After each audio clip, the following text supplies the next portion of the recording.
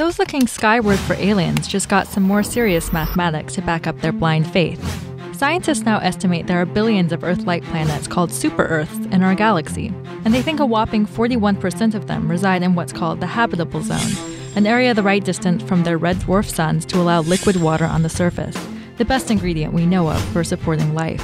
Scientists in Chile studied hundreds of red dwarfs or cooling mini suns and believe they are being orbited by Earth like planets 1 to 10 times the mass of Earth.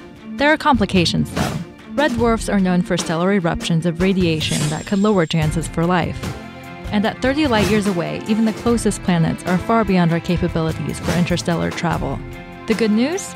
Our sun won't likely destroy us for 7.6 billion years, so we've got plenty of time to pack our bags and set autopilot for the closest super Earth. Want more science? We've got the latest on discoveries and breakthroughs. Check out Slate News Science. Click to subscribe. Like us on Facebook at Slate Video, follow us on Twitter at Slate Viral.